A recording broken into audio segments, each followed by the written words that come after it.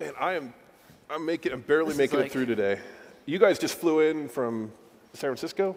Yeah, we've been here about three days now. I was chipper this morning. I was full of beans this morning. Right now, I just want to go take a nap. Well, we were in London last weekend and then flew to San then Francisco and flew- came back. Yeah. What? so, I mean, we're going to talk, and I've read, everybody here has read about this. Like, I mean, you guys have had some outstanding success in a year. It's, Um, it's, we're off to a good start. yeah, and we'll get into that deeply. But my question is this you, every single tech event, you guys are, bam, you are there. You're Johnny on the spot. Why are you doing this at this point? Like, you know, know- you're all billionaires. Why are you, why are you messing around with these events? Do you need another pillow? Okay? I wanted you to have this. Yeah. Um, seriously, why are you doing these? Is I only agreed because Karl Lagerfeld did it, so you know that that was my motivation. You, you know, I think there's a couple things. Um, one is we're trying to bring a whole lot more color to the world. So, um, you know, we had we like to have fun and tell our story. The other thing is um, just frankly, you know, we've been a transparent company from the very beginning. Yeah. I blog about everything, put it all out there, and you know, we think we really believe that the more people who know our story, the more that they'll get behind what we're doing. Um, and and that's all great, but Yeah. that isn't what you said backstage when I asked you the same question. What you said backstage is, oh, we're going to a Madonna con- uh, concert in, in Barcelona tomorrow. yeah, this was kind of a stop on the way. And this is a stop, yeah, and exactly. I, yeah, and then I said, is Madonna, how old is she now? And, and then I got yelled at because I, I estimated she was 60 and it turns out she's 53. 53. Yeah. Yeah. Something like that. So really, you're going to a Madonna concert and you stop by LeWeb on the way to mention that you're doing well and you've acquired a company. Well, you know, so we, we, Yeah. we did a few things a couple months ago. we were putting our schedule together, and we said, wow, you know, we need to be in London for LeWeb, and Madonna's going to be in Barcelona the next day. So let's acquire a company around the same time frame, and then we just put the whole thing together. So and celebrate dancing to Madonna. there you go. Now, are you guys gay? All right, yeah. No, I did, yeah, 'cause Come on, shoes like this, really? because wasn't Fab, No one's ever done that at a tech event before, have they? I, I, I, I thought you were going to do like a Tom Cruise Oprah moment there. So Fab was like a gay social thing. yeah. And, and, and which is a great, is fabulous. Fab, fabulous, yeah. yeah, which is a great name for a gay social Yeah, network. yeah. Uh, it's no longer that. Like, what happened there? Yeah, so uh, Bradford and I have known each other for 13 years now.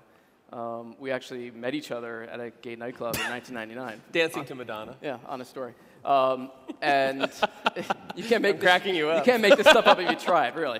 Um, so we've you know we've been friends for a long time. I sold a company called Social Median to XING in Europe Yep. uh, in 2009, uh, and when was the chief product officer at XING for a year, and you know helped modernize their platform while at the same time thinking about what I wanted to do next. And um, living in Germany for a year with my boyfriend being back in New York, we were kept trying to find ways to meet up around the world and do sorts of fun things. Yeah. And we're like, there really was no kind of gay guide to where to go, what to do, and Right. who to meet and all that. So we came up with this idea behind basically it was like, you know, gay Yelp meets gay Foursquare meets et cetera. And, yeah, super uh, gay. super gay. Super gay. And Yeah. you know, I, I called the gayest person I know to see if he'd help me uh, join He's it. also, by the way, and I know I have a lot of gay friends. He's also the gayest person I know at this point. Yeah. Yeah. And Bradford and I just met about an hour ago. Yeah. So, yeah. And so, so, so literally, we went down. So I, I was at XING a year to the day. I'm going to keep a straight face. Um, uh, I'm just trying to. You do so many interviews. I'm trying to do one that's just a tiny bit different. So, yeah. Yeah. So that didn't work out though. It did not work out. And so, you know, Yeah, Why not? Well, I it did mean, work out to some extent. I mean, Jason and I solidified a working relationship, which, Yeah. so, you know, looking back on it, you know, the site itself was a failure, but um, we realized we wanted to stay working together. Yeah. And we figured out a way to make it work. Yeah. yeah. and you know, so, uh, you know, I started a company before that called Jobster, which was. we Hold on, I about wanna get to forever. We'll Jobster a bit, yeah. But one of my lessons from Jobster was, you know, get the product right. And I also started to really get this notion that if you don't get the product right within a year, just start, you know, start over and do something else. Because I really think at this Yeah. day and age that you know you really you, you get customer feedback so quickly, and Yeah. you can iterate your way towards building a new feature, but you can't iterate your way towards a business model forever. So fabulous was wasn't was great. Well, actually, wasn't- we, yeah. we built a, a beautiful interface a great functionality, and we couldn't get a single person to use it. And I mean, we, we, we had, a, had 100,000 people using it, and that was our ambition was bigger than that. And the Yeah. biggest thing for us is we couldn't get our friends to use it. Yep. And we kept hearing like all you know all the press and tech bloggers and everything were saying, you know, Fabulous is gorgeous, the apps are great, you know, the functionality is fantastic, and you couldn't, Yeah. you know, so it was like building a, a product without a market. Right. And so we got together over a few bottles of wine and said, Yeah. hey, look, you know, we like working with each other. We clearly can build good product. Let's go do something we could be the best at. And literally, Yeah. we took a napkin and you know, I drew a circle on the napkin and I said, we're going to choose one thing, and we're just Yeah. going to do that one thing better than anybody else in the world. And Yeah. that, that one thing would be the center of what we're most passionate about, um, what Yeah. we really think we could literally you know, be the best at, and What a, is a big untapped market.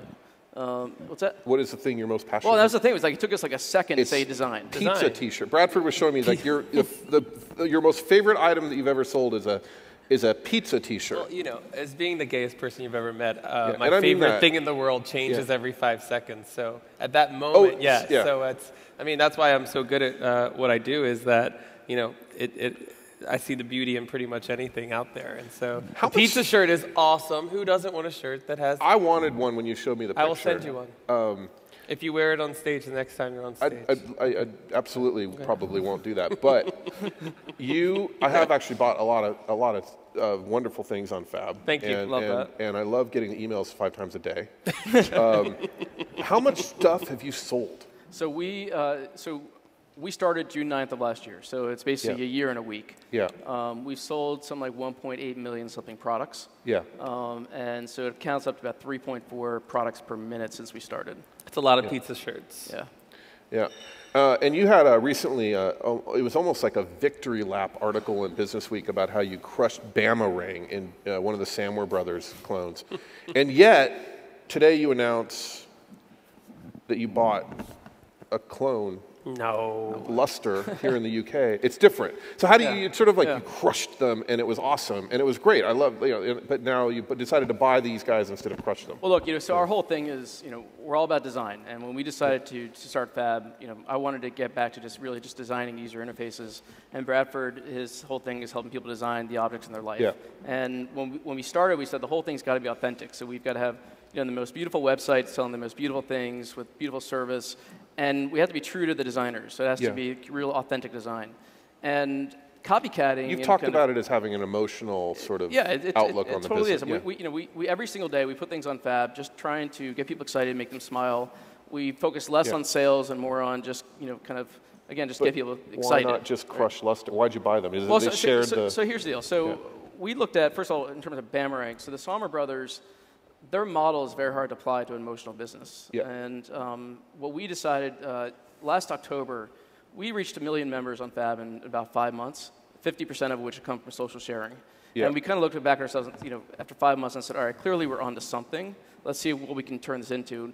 And, you know, we have, you know, board members, investors who have had their businesses cloned by the Samwers.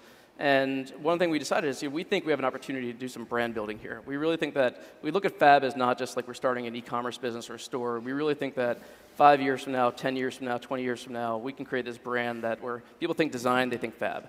That we really think when people think like discovering products, they think Fab. And so we said, you know, in order to create that global brand, let's go to Europe faster. Okay. Um, and especially going to Europe faster before the clones came in Yep. and copied us and kind of, you know, we didn't want to cede ground anybody. And so we launched in, uh, in Germany in February. We acquired a company called Casacanda. Yeah. At the time, there were six companies in Germany alone that had copied Fab's model.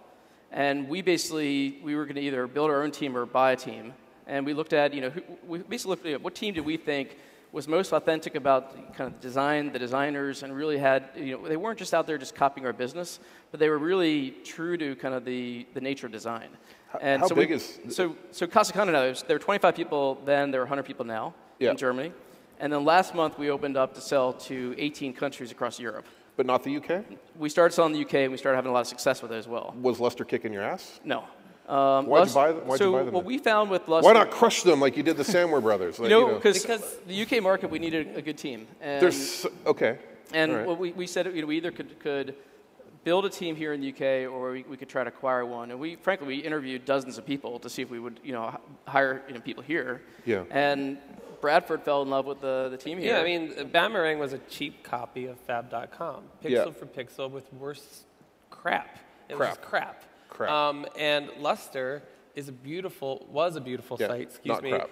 Not crap, no. And actually, a, a completely different point of view than say mine or the, our U.S. buying team. It has its own soul. it has its own soul, and Yeah. it's and it's very it's it's it's very British. It's very ethereal. It's very pretty. Um, and it's going to actually, um, Yeah. we're very much looking forward to the way their buying tastes infiltrate Yeah. the U.S. and the German assortment and vice versa. Yeah. So uh, it, it, it wasn't a clone. I mean, yeah, they sold things on, online, uh, but a lot of people do that. They had a very, very unique point of view um, and, and, and, and a, an amazing team. How many employees does Llustre They have? have 25. And how, are you going to grow that to like 100 like in Germany? Yeah, that's, that's, that's the plan. I mean, the, you Yeah. know, we'll, we'll, you know, last year at this time we had 40 people total. We had 15 in New York, and we had another 25 in Pune. now you're 400. Now we're 400. Um, and And by the way, you're peaking at like, is it 100 grand a month? I mean, an hour in revenue you're doing? Um, you know, there was so, someone had told us a number that, that Boomerang did You s- 100k in a yeah, week, and, and you said we that's did a good that. That's hour a good hour for us in the U.S. sometimes. What's yeah. a good day for you in the A U.S.? good day? Well, we, we- we're we're having days where we're doing about four hundred thousand dollars in sales between the U.S. and Europe Gro- right that's now. gross or net? That's like receipt or actual revenue? That's that's term, but we you know we buy all our product. Okay. So for us, revenue So is it's- gross. okay. Yeah.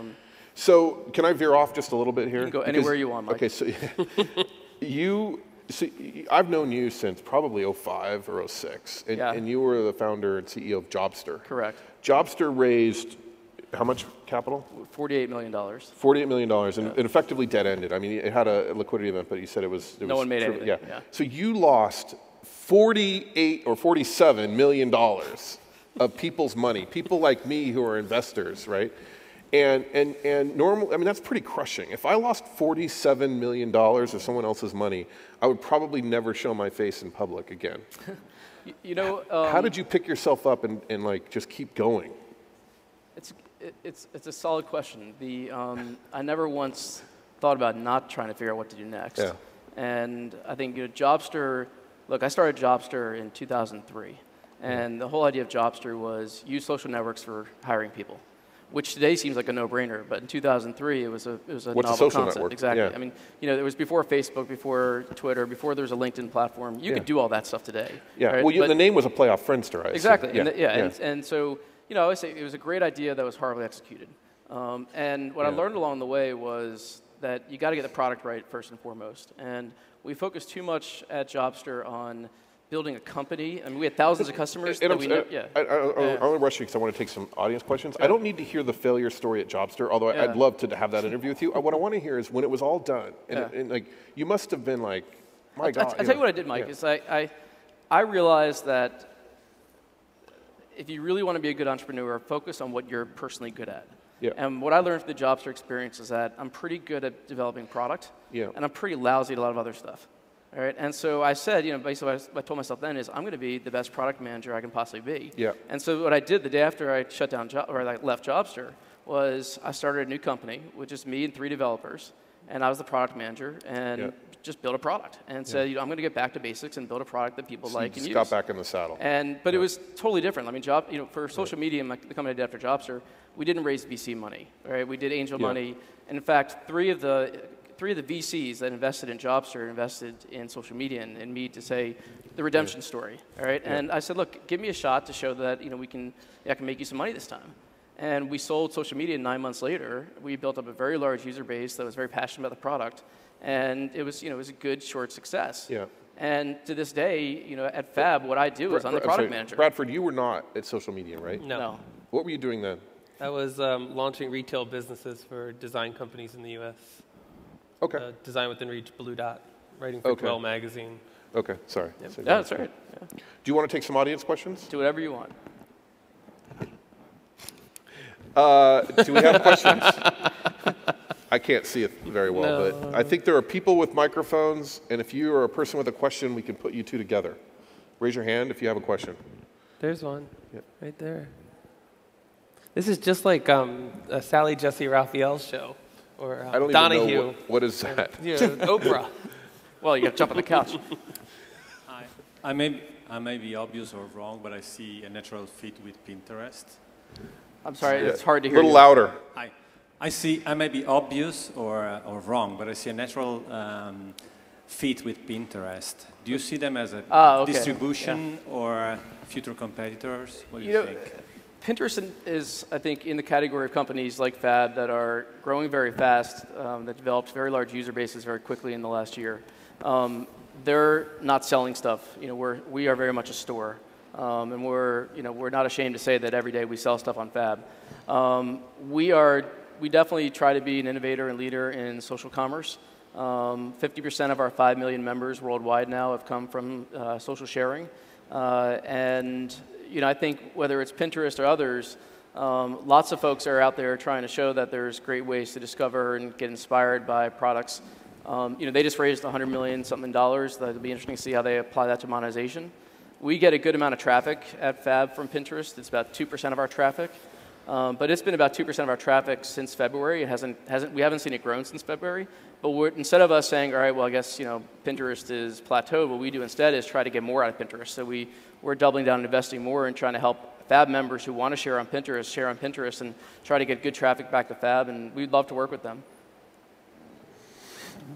Another question? Uh, over here.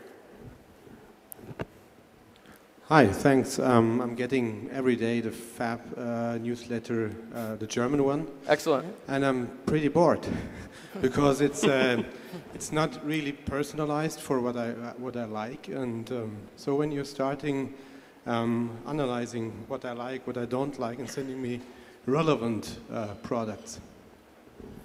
Um, you know, we're constantly looking at better ways to provide more relevance. Um, in Germany right now, we launch uh, six new uh, sales events per day. Uh, in the US right now, we're launching, it's almost 30 per day. Um, in the US, we have about 10,000 SKUs, so unique products on what's, the site. What's the best selling item ever? Go is for it, it. Is it that funny? yeah, it is. It's a vibrator designed by Yves Behar. Yeah. A vibrator. Yeah. yeah. okay, over here. Hi there. Really? Really?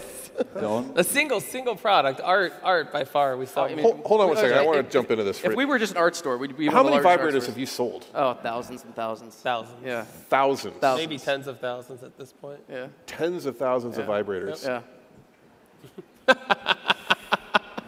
but you know, think about it. But it, it, it totally makes sense. You know why it makes sense? Because it's a product that yeah. people don't want to go walk into a store and go shopping for.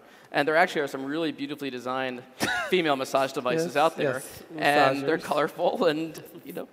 But uh, Colorful, colorful vibrators, I imagine, would sell well online where it's anonymous. Yeah. And, yeah. But, but I got to say this, you know, we never thought we'd be an art store, and art's our number one category. We never thought we'd be a jewelry store. Did you ever two. think you'd be a vibrator store? We're not No, a vibrator not store. I mean, vibrator's nothing compared to the overall. But the Got a single little SKU. bit Yeah, under no, the he's skin a little- there. he's a little bit. nervous We're not a now. vibrator. I mean, 40 to 50 percent of the products we sell are home products, so furniture, Yeah. art, lighting. and the other um, half are sex toys? The Or- other half. Sorry, I'm not You're letting this go You're killing me here. You're killing me here. Less than a fraction of a Yeah. percent. All right, we got a. Hi there. I'm uh, Alex from Urban Times, and I'd like to know a little bit more about this pivot that you did. Uh, what was the time frame Yeah. and sort of the capital cost uh, to go from sort of this social network Yeah. and then create something entirely new? So, isn't there and something you want to do? What's that? Wasn't there? Isn't that also a segue that question into something that you wanted to do? Something that backstage we were talking about, and I don't even know what it was. Anyway, go ahead.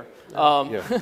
So, uh, Do you know what I'm talking about? yes, I do. Oh, okay. Um, so, um, you know, we decided to shut down the old business uh, in, it was February 28th.